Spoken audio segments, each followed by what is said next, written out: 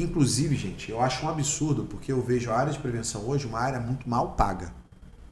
Porque é uma área extremamente estratégica, é uma área que dá um retorno filha da mãe para a empresa, e é uma área que os níveis de salário são baixos. Se você olhar o salário do cara da prevenção, é baixo. Baixo pra caramba. Porque na maior parte das vezes ele.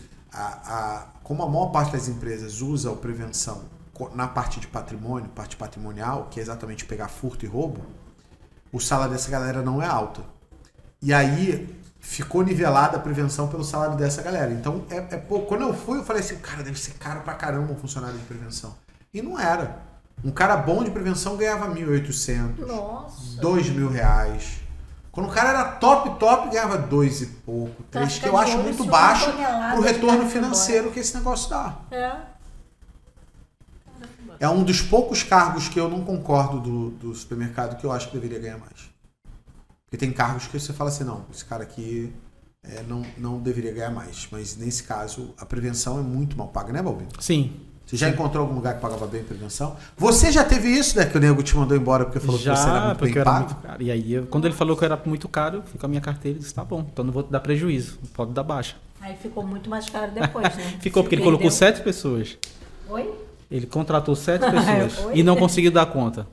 Ele isso, deve estar ficou vendo isso aqui, que eu sei que ele assiste. E tendo É isso. perda pra caramba também, né? Não, e, eu, e o seu eu salário tre- era absurdo, né? e eu- Quanto é que e você ganhava, contou- Balbino? Era 10 mil, né?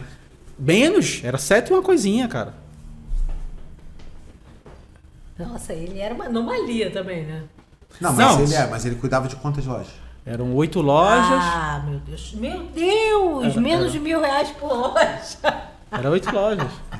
E, e aí eu e fui quanto que você equipe. fez de economizar? 536 mil reais em um ano. Então ele economizou Fez. 536 mil reais, o cara fez a conta de 7,5.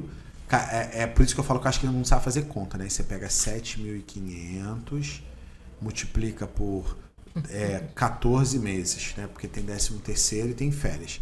Dá 105 mil. Quanto é que você economizou? 536 mil Menos reais. 536 Seis. mil, dá um, um retorno de 431 mil reais. Ele podia ter feito bonificação, né? Se eu pegar 536 mil dividido por 105 mil, que foi o custo dele, dá ROI 5. É. Ganhou 5 vezes o que ele investiu. Aí falou que o cara é caro. Aí não adianta. É, é, esse, e ele tem esse como é um ponto. avaliar, né? O- Sim, porque o é financeiro, é número. Sim. O número, o número aparece. São duas coisas que, que, que pecam muito na prevenção. A primeira é o cara da prevenção não ter ciência do retorno que ele está gerando para a empresa. Então, cara, eu tinha ciência de tudo. Se o cara, se uma, se uma pessoa identificasse uma quebra e conseguisse reduzir dois reais de quebra, eu estava contabilizando aquilo, porque aquilo era um trabalho que, a- que a área estava fazendo. Contabilizava tudo, então tinha todos os números. Mensalmente, no resultado trimestral, tinha tudo isso, era tudo tipo Jamberli, tinha tudo lá. O financeirinho estava na minha mão. Quando me falaram isso, eu disse dessa forma.